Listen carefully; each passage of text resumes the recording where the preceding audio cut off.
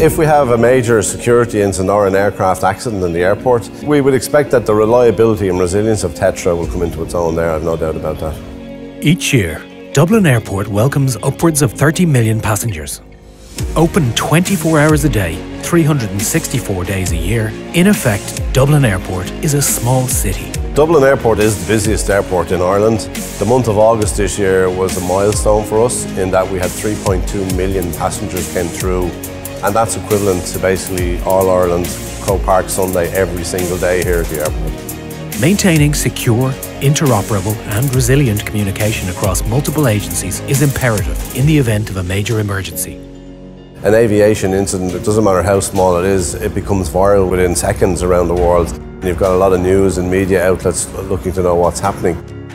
So using Tetra in conjunction with our airport police colleagues enables us to confidentially talk to each other or talk to individuals on the incident ground. That improves then the ability to deal with the incident effectively. Every day, thousands of staff from dozens of agencies, from air traffic control to customs and revenue, ground staff to dedicated airport police and fire services, seamlessly coordinate operations. Moving forward, we would like to see interoperability between the three principal response agencies, which is the Fire Brigade, the Gardaí and the National Ambulance Service. And hopefully we'll have a talk group set up so as if they're responding to an emergency at the airport, we can all move on to the one talk group for command and control purposes. Cork Airport, serving almost 3 million passengers per annum, has been a key gateway to the south and southwest of Ireland for over 50 years. My colleagues in Cork, when we were testing it, we were able to ring them direct on the radio and there was very clear communications between ourselves and Cork Airport. So if there was an issue in Cork, they can contact us now immediately on Tetra if they needed extra resources or vice versa if we needed resources from them.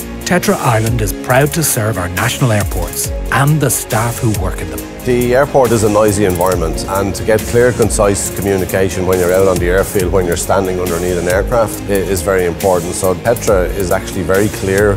We can use it in the terminal building as well as outside. The radios are nice and compact so they can fit on your uniform quite easily.